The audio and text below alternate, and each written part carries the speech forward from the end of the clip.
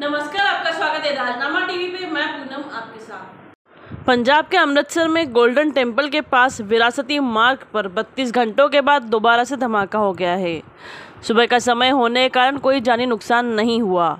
यह ब्लास्ट उसी जगह के पास हुआ जहाँ शनिवार देर रात घटना घटी थी। अभी तक पुलिस पहले हुए ब्लास्ट का कारण पता नहीं लगा पाई है और इसी बीच अब दोबारा ब्लास्ट हो गया।